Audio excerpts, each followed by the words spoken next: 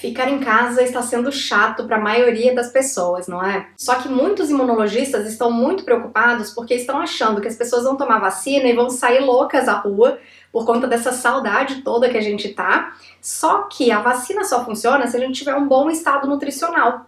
Por quê? Porque depois de tomar a vacina, nós precisamos produzir anticorpos. Então, se você não tem nutrientes adequados para a produção de, de anticorpos depois desse contato com a vacina, a vacina não adianta. Isso é mais importante ainda para os idosos. Esse estudo aqui mostra justamente isso, que depois de uma vacina, se a pessoa tem muitas carências nutricionais, ela não consegue produzir os anticorpos na mesma quantidade de uma pessoa que está bem nutrida. Então, o estudo mostrou que muitos nutrientes são fundamentais, como vitamina A, vitamina C, vitamina E, zinco, selênio, ferro, vitamina B6, B9, B12. E esses nutrientes estão presentes em uma variedade muito grande de alimentos. Por isso que quando a gente fala que a dieta tem que ser colorida, muito variada, isso vale para tudo, certo? Para prevenção de qualquer coisa que você possa imaginar. Então, quais são as fontes, por exemplo, de vitamina A? alimentos de origem animal, como a gema do ovo, ou então nós podemos transformar os carotenoides, os pigmentos amarelo, alaranjados que temos em alimentos, como mamão, como cenoura, em vitamina A. Para quem mora no Goiás, o pequi é uma excelente fonte, por exemplo, de carotenoides.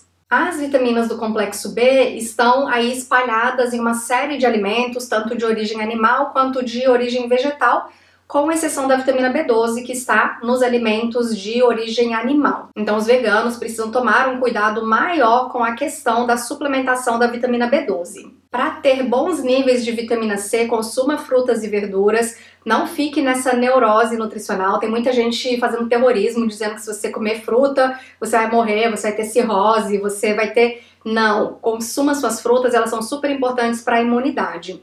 A vitamina D, tome pelo menos 15 minutinhos de sol por dia, se não puder, suplemente a vitamina D. Se puder, melhor ainda, faça um exame de sangue para avaliar a quantidade de vitamina D que você tem no plasma. Ela deve estar ali pelo menos em 40. A vitamina E é uma vitamina lipossolúvel, ela se dissolve em gordura e alimentos bons, alimentos ricos em vitamina E vão ser abacate, azeite de oliva extra virgem, o açaí, também castanhas, nozes, sementes são boas fontes de vitamina E. O zinco vai estar presente nos frutos do mar, nas ostras, na semente de abóbora, na carne de vitela, na carne de peru, na castanha do Pará. Aliás, a castanha do Pará também é a principal fonte de outro nutriente muito importante para a imunidade, que é o selênio. Além disso, é fonte de cobre, assim como o coentro, como a castanha de caju, como o gergelim, a amêndoa e o cacau e nós encontramos ferro nas carnes e nos vegetais verdes escuros, sendo que se você consome mais vegetais verdes escuros, pinga ali um limãozinho, pinga ali uma fonte de vitamina C para ajudar nessa absorção de ferro. Assim, você tem os nutrientes necessários para quando você tomar a vacina, você está com um bom estado nutricional e garantir uma boa resposta imune. É claro que esses cuidados têm que começar antes da vacinação, se manter, vai ter a segunda dose e se mantém também. São nutrientes importantes por toda a vida e não só nessa fase. É claro que quem já está com uma carência nutricional precisa consultar um nutricionista para começar a suplementar direitinho.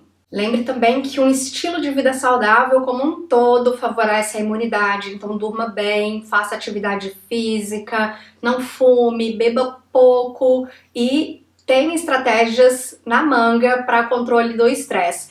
Então, meditar, praticar yoga, fazer automassagem, fazer terapia, tudo isso pode te ajudar a ter uma imunidade melhor.